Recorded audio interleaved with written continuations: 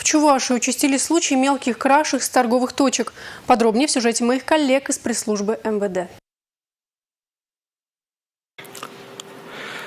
Течение месяца работники одного из чебоксарских супермаркетов не досчитывались сыра. Примечательно, что пропадал продукт одной и той же марки, а похитители сообщили в полицию. Стражи порядка взяли магазин под пристальный контроль и быстро поняли, в чем дело. Любительницей сыра оказалась жительница Чебоксар. Она успела посетить магазин четыре раза и каждый раз умудрялась проносить продукты мимо кассы. Уже состоялся суд, который оштрафовал женщину и обязал возместить нанесенный ущерб. Сотрудники полиции за что задержали? Я забыла выложить из сумки товар и пробить.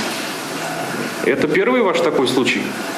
Ну, получается, что который я тогда сыр сказали, но я вот вытаскивала его, я вот это вот никак не пойму. На хищениях продуктов злоумышленники не останавливаются. Отвлекая внимание продавцов, некоторые умудряются даже вытащить деньги из кассы. Как, например, этот 30-летний житель Ульяновска. Подобным способом мужчина обчистил кассу в двух продуктовых ларьках Канашского и Батревского районов. Внимательность продавцов, сообщивших приметы злоумышленника, и оперативность чувашских и ульяновских полицейских помогла задержать похитителя спустя короткое время после совершения кражи.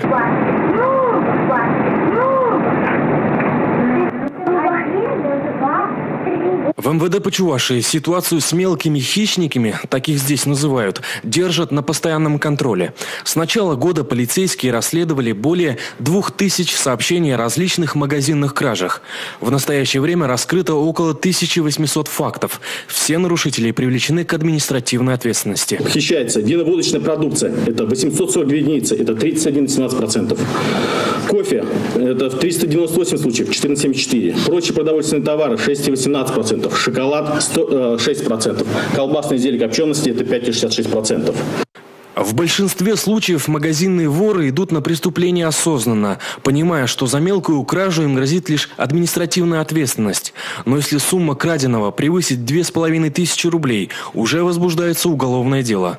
Серьезной ответственности также не избежать тем, кто ранее уже привлекался за мелкие хищения. Кроме денежного штрафа, закон предусматривает наказание вплоть до реального лишения свободы.